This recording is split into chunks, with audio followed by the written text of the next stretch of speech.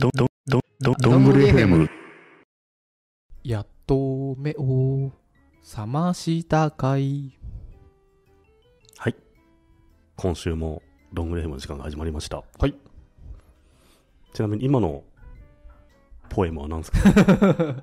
それなのになぜ目を合わせはしないんだい？ピピージャスラックです。しまった逃げろ あの、ちょっと前にニュースあったのが、はいピアノ教室かなんか、うん音楽教室かなんかの生徒に、ジャスラックのスパイ紛れてるっていう。ああ、見ました。面白くないですか？面白いです。僕もベリベリって話したらジャスラックの人だったみたいな。なんかジャスラックって、うんもうどんどん漫画っぽいですよね。ぽいよね。どんどん漫画っぽいですよね。だから悪の秘密結社みたいになってますけどね。だからあれですよ、バズフィードでうん朝礼とかで、先日、ジャスラックの人から連絡が来た。この中に誰かジャスラックがいるらしい。いいね。誰だ？このゲートを通った時反応するジャスラックがいるぞっつって。あと、ワンオンワンをやって、今日からやっていって、お前はジャスラックじゃないのか？違います、違います。実はその、この中にジャスラックがいるって喋ってる風太さんがジャスラックだったみたいなね。あ あ、そっちか。二重のね、展開がね。ほら、うん。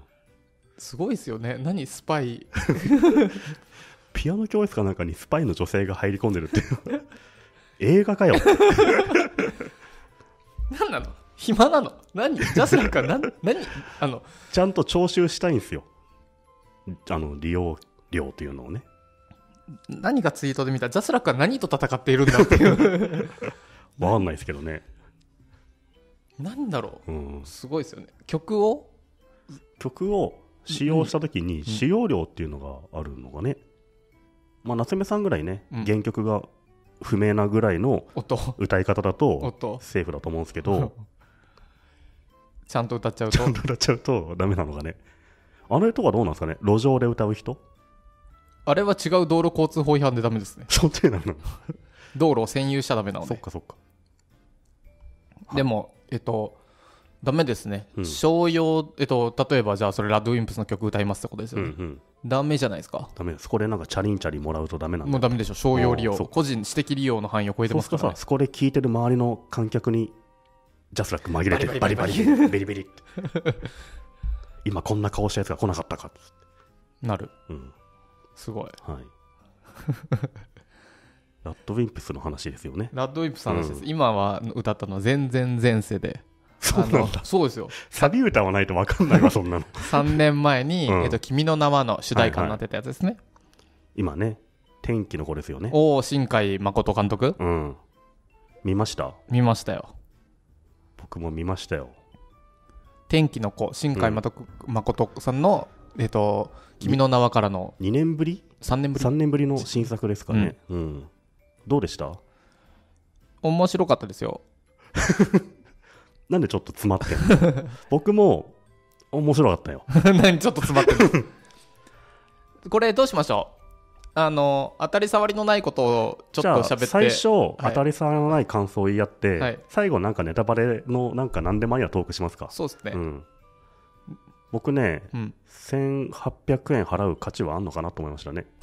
全然面白くない。いやいや面白かったよ。ただああいう映画って、はい、まあ、君の名もそうですけど、うん。なんかあんま映画館で見る意味ってそんなないのかなと思ったんですよね。はいはい。ドガンガシャンみたいな。うん。爆発がドガンみたいなやつはさ、うん。例えばなんだろゴジラとかは？うゴジラとかシン・ゴジラとか？音がすごいみたいな。音がすごいみたいな。そういうやつは映画館で見た方が楽しいじゃん。はい。でもこれアニメーションって別にテレビで見てもいいのかなって思ったんですけど、はいはい。でもあの君の名はもこれもそうですけど、うん。1800円払ってよかったなと。劇場行ってよかったなっていうぐらいな映画でしたね。あそう面白かった、うん。はいはい。そうですね。僕はまあ面白かったけど君の名はの方が面白くはありましたけどね僕個人としては。ストーリー的に？うん僕君の名はの入れ替わるストーリーじゃないですか。うん。入れ替わりものでかつその時間軸がずれてるっていうのが、うん。すげえいいアイデアだなと思って、うん。そこははーって感心したので、うん。そういう驚きって意味では君の名の方があったかもしれないですね、うんううん。んそうですね。これは新海さんも実はどっかで言っててうん。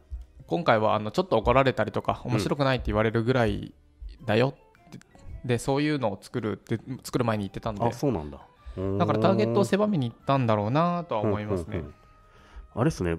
でも見てよかったなと思ったのは、うん。すごいあの舞台東京じゃないですか、うん。都内じゃないですか。うん。なので普段僕らが普通に歩いてるあたり新宿とか代々木とか池袋とか、馬場高野馬場とかすごいその行動範囲のあたりがすごい綺麗に描かれてるんですよね。東京の風景が美しいなと思って、今の東京ですよね。そう今の東京で看板の位置とかさ、うん全部一緒だよね、うん旧フロントがあってそうそうお店の場所とかね、うん。であれ見てると、まあ、あれあえてやってると思うんですけど情報量多いなと思ってうんうん。都内って、あらゆるところに広告があるし消費が目に飛び込んでくるしっていうのを客観視しましたね。うんうん。こんな中生きてんの？いつもって。ちょっとびっくりしたどこかのツイートであったのが新宿の東宝シネマズで見ると、うん。あの出た瞬間聖地巡礼できるから おすすめだっつって。だってあれ確かに。思いっきり東宝シネマズの下が映そうだよねってるんですよ。映ってる映ってる、うん。あの逃げ出していくとこね東宝シネマの下だよね。歌舞伎町結構出てくるから、うん。東宝シシネマで見るといいね、うん。あのゴジラのビルのところだよね、うん。それあるね、うん。うん。10点満点で何点ですか？7.5点ですかね。おおー僕も7点。7点。うん。7.5点あの他の映画と比べてみると例えば「君の名は」が82点ぐらいですかね、10点満点でうん、あ違う8.2 8.2ぐらいかな、はいはい。あとカメラを止めるのは9点ぐらいだったかな、はいはいはい、うん。僕もそんぐらいだな。うわーって驚きがあって、はい。また見たいなみたいなね。君の名は？は8.2点ぐらいですかね。はいはい。ボヘミアン・ラプソディとかもね、はい同じぐらいですかね。8点前後くらいですかね。ボヘミアン・ラプソディ見ましたよ。見たの？見たの？最近。最近見たの？結局見たんだあれ。10点満点でうん。3点ぐらいでした。なぜなら、うん。あのこういうストーリーだろうなと思ってこういう曲流れるだろうなと思ったら流れてそういうストーリーだったから。当たり前じゃんそんな。だってもうあれさ何？クイーンのさ歴史だからさ分かってんだよストーリーはみんな、その中でも壮絶な人生とか名曲に感動するわけだから。そう。僕ね3点な理由はちょっと申し訳ないけどあれだと思う。あの1年弱ぐらい、うん。半年ぐらいもう毎日クイーン聴きまくってたんですよ。何時間もずーっと、飽きてんだよそれに 順番逆なんだよね。飽きちゃったんだよな。みんなあの映画見てうわもっと聞きたいと思って CD 買うじゃん。うんあそっか配信聞くじゃん、夏目さんはそれもう死ぬほど聞いてからあの映画見に行くってダメだよね。僕 Spotify えっと Google ホームに話しかけて、うん。Spotify でかけると次何がかかるかもう覚えてますもん。しかも Spotify だとさ、まあ、サウンドトラックもあるからさ、あの最後のシーンの有名なライブのシーンのがそうそう。音もあるじゃん。もう壮大なネタバレした後言ってるからそうなんですよ。ダメだよね。そうもったいなかった、うん。じゃああれだね。かんあ天気の子のよっぽど良かったわけじゃないですか。そうですね、うん。だっていやーボヘミアン・ラブソディはな。あとねこれ天気の子って雨の話じゃないですか。待って。これぐらいはいいんじゃないの、本当に？うん、雨のシーン多いからさはい。なんか最近梅雨で雨多いけど、うん。それも良かったのかなと思って。ああそれはありますね。タイミングいいっすよね。確かに確かに。もうとっくにさ梅雨で明けてカラッとしてるよりちょっとジメジメしてるぐらいで確かに。この映画が始まってこの映画見ると、そうん、全然雨でも許せるなうん。みたいな、そういう気分になりましたね、ここからははいちょっとネタバレありでいきますか。そうですね。でもし、まあ、見てない人は多分まだ多いと思うんで、うん。見てなかったらでネタバレ一回切ってね。はい。また来週とか見た後に聞いていただけると。そうですね。でまあ別にネタバレ気にしないよって人は、うん。あの聞けばいいと思います、うん。いやはい。でもあれっすね。深海作品ってワンパターンなんですね。いや僕はでもそんな見てないですけど君の名を見てこれを見ただけなんで超にわかな普通の人なんですけど前と同じところがあって面白いですねあの女の子絡みで超常現象起きるじゃないですか。でその超常現象でいろんなことが起きると。楽しいこともあると。でそのちょっとその女の子がピンチになるんですよね。それを男の子が気合で助ける。助ける瞬間ラッドウィンプスが流れる。数年後都内で再会する。終わりっていうね。超常現象ピンチになる。助ける。ラッドウィンプス都内で再会っていう。その流れですね。うん、まあ深海先ってよりも君の名はですね。うん。いやでもこれ僕思ったのは大変ですよ。あんだけ売れちゃった後にはい面白いことしてください。すごいの作ってくださいって言われたら。大変だよね。で僕はいいなと思ったのは、うん。あの滝くんや四つ葉三つ葉出てきたじゃないですか。出てた。あれ、おってなりますよね。あれはね、うん。あのはい君の名はと比べてどうなんですかっていうところのいいアンチテーゼというか、うんもうあのそんなの気にしてないよっていう出すぜっていうね。四つ葉どこでいたか分かりました？あのね、学校の昇降口かなんかで、雨すげえなみたいな言ってましたよね。晴れた時じゃない？晴れた時か。そうそうあ、晴れたみたいなこと言ってたんですか。女の子2、3人と一緒に行ってたよね。滝くんめちゃめちゃ出てたよね。滝くんはめちゃめちゃ出てまし めちゃめちゃ出てたよね。僕めちゃめちゃ出てるから気づかなかったわ、逆にた。普通すぎて出過ぎだろうと思って。僕前情報全くなく言ったんですけど、うん。声優が小栗旬や本田翼だったそうそうそう。あれどうでした？気になりました？全然、あの、見た後に知ったぐらいで、むしろあの、小栗旬うまいっすね。うん僕も全然めっちゃ、あとさ、刑事役でさ、うん平平泉泉聖聖平泉聖はちょっと平泉すぎたよあなのさ、平泉聖のモノマネ芸人みたいな、完璧な平泉聖だからそさう、見ながらこれ平泉聖の真似してる誰かじゃねえかと思ったら、僕も思ったら平泉聖出てきてて、本人かよと思ってねそう。そあれ面白かったね。う、うん、だってもう完全平泉聖だからね。うんあと見た目もちょっと平泉聖っぽく描かれてるのね、アニメで。あれ面白かった。うんそうですね。成美さんが言ったのはあの結構新海さんの作品で多いっちゃ多いんですけど通称世界系と言われるジャンルで世界系？カタカナで世界系です。世界っていうのこういう、ジャンルがあるんですよ。何かっていうとあの世界を救うか女の子を救うかどっちにするみたいなのがおあの少年が問われる系ですねで世界は自分が変えちゃうみたいなはいはい。あ、そういうのを世界系って言って、はいジャンルとしてあるんだ。一応ありますねだからパターンに感じるんだ。そうですそうです、はいはいはい。なるでほどね。少年がそのために頑張るみたいなのうんうんうんは世界系です、まあそれの王道っちゃ王道なんですけどあ、じゃあそのジャンルの王道を今回も作ってみたということなんですね。うん、そうですねであとはあの実はあれ分かる人は分かるうん。エロゲだったりとか、うん。あのかなり狭いうん。あのクラスタのうん人たちが、あるあるあるって結構なるようなうん展開なんですよ、いろいろとそうなんだ。へえ。なので、うん。その辺の人たちはすごく刺さってて、うんだから我々は大衆は分かんなくてもいいんですようん。で中学生とかはあれ見て、うん。あの俺も世界救わねばってなったらよくて、はいはいうんちょっとねターゲットを狭めた今回はだから別にあの我々がちょっとなっていうのはまあいいんじゃないですかって感じまあ面白かったですけどね。うん。あれですね。男の子は多分もしかして面白いかもなと思って、あの、女の子受け良くない気がするんですよね。ああ前回も今回もだけど、あはいはい。あの、君の名はを僕はまあ見に行ったじゃないですか。うん。で、よく一緒にお酒飲む同年代の女性3、4人がみんなつまんねえって言ってて、それわかる。あと、おっさんが君の名はの話してるのもキモいっつってて、やめろって言われて、童貞臭いとは言ったんですけど、はいはい。なんかね、わかる。女性はあれ受け入れないんじゃないかなって気がするんですよね。まあ主語がでかくてあれなんですけど、はいはい。あの、若い男、あの、本当学生の男の子とか多分、ガチたまると思うし、僕らも普通にストーリー楽しみましたし、はやっぱ新海誠に出て先に出てる女の子は可愛いなと思うし、うん。でもそういう良さのすべてなんか女性に刺さんないのかなっていう感覚がほのかにした。いいなんかなんだろうな主語でかいですけど怒られますけどうん。童貞っぽいというかそうなんですよ。童貞っぽいですよ。中高生の男の子たちがわーってなそうなんるあのね、今回主人公のあの、ひな、はい、ひなちゃんもすごいいい子じゃないですか。うんでもあのいい子って、もう童貞がイメージするうんザ・いい子なんですよね。うんわかる僕らはもうああいう子はいないって分かってるじゃないですか。はい分かりながら見てるんですけど、多分もしかしたら、ガッてハマる子は、ハマる人たちは、ガチで理想の子かもしれないですね。うんまああのねちょっとエッチなおっぱい大きい年上の女子大生もいていていて、前もいたじゃん。いたあの、バイト先の先輩とかで。僕は、あの、バイト先の先輩の方が好きですけどね、むしろ。で、今回も、あの、あの女子大生ねの名前忘れちゃったけどうん。あれが本田翼なんですねあ、そうなの。そうそうそうじゃああれだね、若い子もおっさんも楽しめるように、二通り用意してんだね。うんうん。それでいうと結構そのおっさんたち用には一応準備されていて、うん。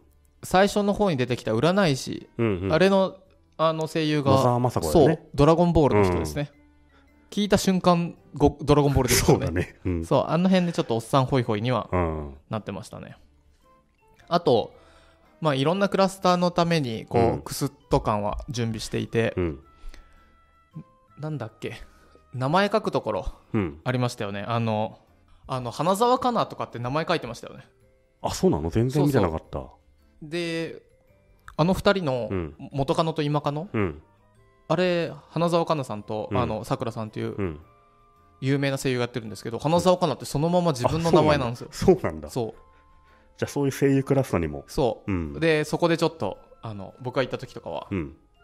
わわしゃわしゃってこううん盛り上がるみたいな、そうなんだ。そうそう。花澤香菜さんはシュタインズゲートだと前よりあとはサイコパスのなんだっけ主人公。あの、女髪がの子。短い子。女の子。あと、うん。空よりも遠い場所のうん。古物沢、もう全然知らないけど本当、に？有名な人なんだ。もううん。今やもう本当に有名な主役級の女の子をやる人です。うん。でそういう人がやったりしてるんで、ちなみに多分前の前ぐらいのあの琴の葉の庭みたいなのにも花澤さん出てましただからあファミ新海リーなんですね。そうそう新海ファミリーなんですね。あの工藤館とかもそうですけど、うん。同じような人でやりますよねそうだね。やりやすいんだろうね。うん。あと、ご飯美味しそうだったね。はいはいポテトチップスとチキンラーメンを買っていく神経が僕理解できなかったんですけど、それを買ってきて、即座にああやって料理してくれるところがまたね、ほらそういうことを言うおっさんが おっさんが、そうそうなんでチキンラーメン買っていくのと思ったんだけどね。あのですね、うん。これ気になりました？ケーキとか、あ、でもケーキも買ってったかな？アイスとかさ、甘いもん買ってきゃいいんじゃんと思ったけど。賛否のうんピのところでうん少しあったのが、うん。広告多すぎああ、プロダクトプレイスメントがかなり目立ちましたね。目立ちました？うん。それで結構怒られてなんか怒られてじゃないですけど、まあ、だからそ、だからよりリアルだなと思いましたしう、ん、僕はああいうの結構好きだしうん全然気にならなかったんですけど、うん賛否のピのところでなんか CM 見に来てんじゃねえんだよっていうのはあ、そうあ。りましたでも実際普段生活するとああいう感じなんだよね。そうそう、うん。だからよりリアルに感じるし、うん変な架空の商品よりもチキンラーメンとかカップラーメン、カップヌードル、日清の食べてる方が、あ、後で食おうかな。まあ、広告やられてんだけどさ。あのお酒飲む時はほろ酔いとプレミアムモルツ CC レモン全部サントリーですねうんそうですね。そうでで告なんだね。でどん兵衛食べて、うんあのチキンラーメン食べて日清がで僕テレビ見てなかったんで分かんないですけど CM で散々やってるらしいですね日清とあ、そうなんだ。漫画喫茶を行ったりね。そうそうあそうそうとあれですね、あの、バニラバニラ。バニラのアウトラック流れてましたね。バニラあれ広告じゃないあれは広告じゃないでしょバニラはリアルなんだ。だってバニラはうん。出せないでしょちょっと街並みの風景としてバニラを入れたのがじゃあ。じゃプロダクトプレイスメントってどれが広告でどれが広告じゃないかって分かりづらいですね。バニラ協賛できないでしょ反射的ななんかそういうのあるでしょバニラは別に反社じゃないでしょ。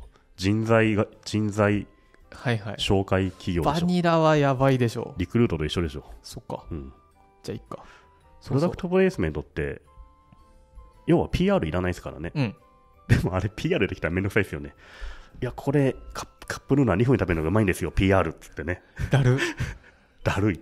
そうそう。だからそれ気になってるって人多かったですね。チキンラーメンも出てきたしどん兵衛も出てきたし。いや、でも僕は気にならないですね。うん僕も。むしろリアルさが増して、うん。ああいう手法でああやってお金取れたらより映画が作りやすくなって、うん。いい作品増えるんだったいいっすよね。らいいんじゃないかなと思うんですけどね。だってね日清僕は日清の担当者でもまあ新海さんの「君の名は」あんだけ売れて次の作品でいいの作るだろうし話題になるだろうから、うん。絶対最初は話題になるだろうから。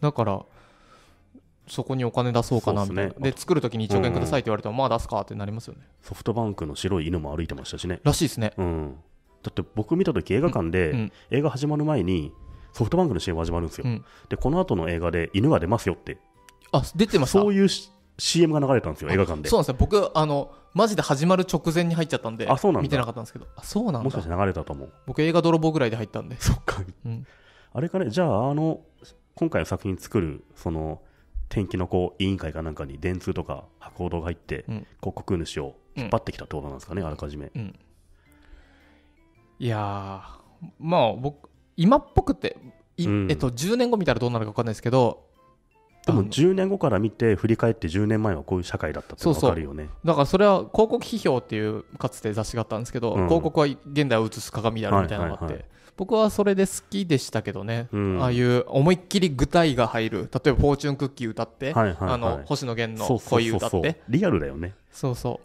う。でカップラーメン食べてみたいな、うん。